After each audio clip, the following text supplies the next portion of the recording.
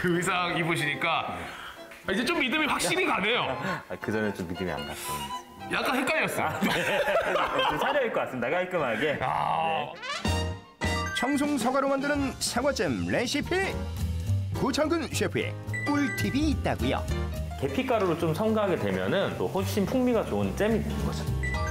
식빵으로 만드는 초간단 애플파이 식빵 가운데 사과잼을 넣고 잘 접어줍니다 겉면에 달걀물을 묻힌 뒤 180도로 예열한 오븐에 넣고 약 10분에서 15분 정도 구워주면 겉바속촉 노릇노릇한 애플파이 완성 간단하게 사과잼 아끼지. 않고 팍팍 넣어 달콤한 사과 향이 가득 이야 이게 맛없을 리가 있나 어, 간식으로 좋겠는데요?